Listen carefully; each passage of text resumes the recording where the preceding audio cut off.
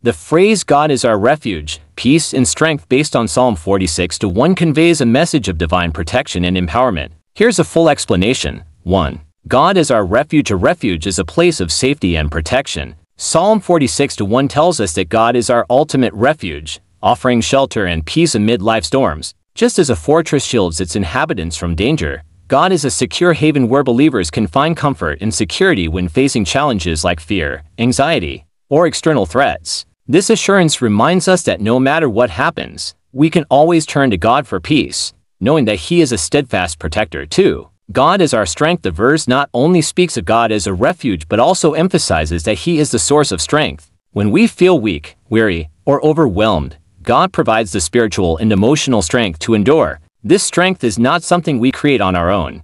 It comes from God when we trust in Him. Believers can rely on God's power to face trials, trusting that His strength is greater than any difficulty we might encounter. 3. An ever-present help in trouble God is described as an ever-present help, meaning that He is always near and ready to assist us, especially in times of trouble. He is not distant or detached but is involved in our lives and our struggles. This constant presence offers great comfort, as it assures us that we are never alone. No matter how overwhelming or confusing a situation may be, God is actively helping us through it. 4. Application to life This verse encourages believers to trust in God during every situation, whether it's personal struggles, health issues, or emotional battles. God offers both a place of safety refuge and the power to overcome strength. It teaches us to turn to Him not just for temporary relief but for ongoing guidance and support. Psalm 46-1 serves as a reminder that God is always ready to help, protect, and strengthen us in every season of life. In summary, Psalm 46 1 reassures us of God's ability to provide peace and strength,